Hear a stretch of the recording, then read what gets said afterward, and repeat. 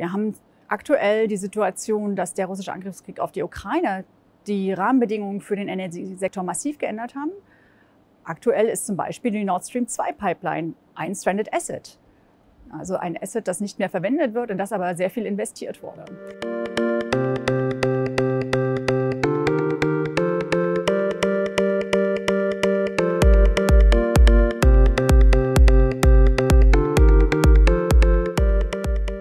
Stranded Assets, diese Analyse macht uns klar, woher kommt denn eigentlich der Widerstand gegen Klimapolitik?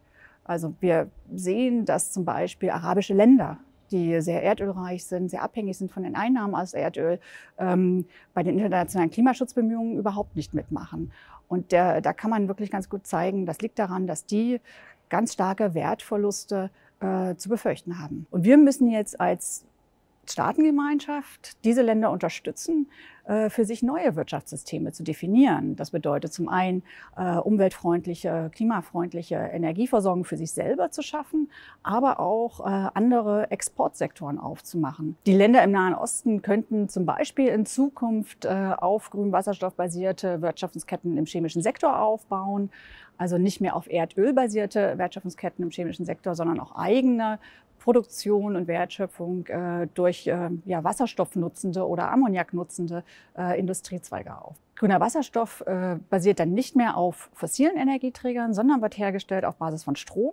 Und der Strom würde aus erneuerbaren Quellen, nämlich Solarstrom oder Windenergie, hergestellt werden. Letztendlich geht es darum, den Investoren klarer zu machen, dass sich die Rahmenbedingungen, insbesondere jetzt für fossile Energieträger, stark ändern. Vielleicht mal ein ganz aktuelles Beispiel, wo sich die Frage stellt, nämlich bei den LNG-Terminals, also den Flüssig-Erdgas-Terminals, die derzeit für Deutschland diskutiert werden und äh, voraussichtlich nächstes Jahr gebaut werden.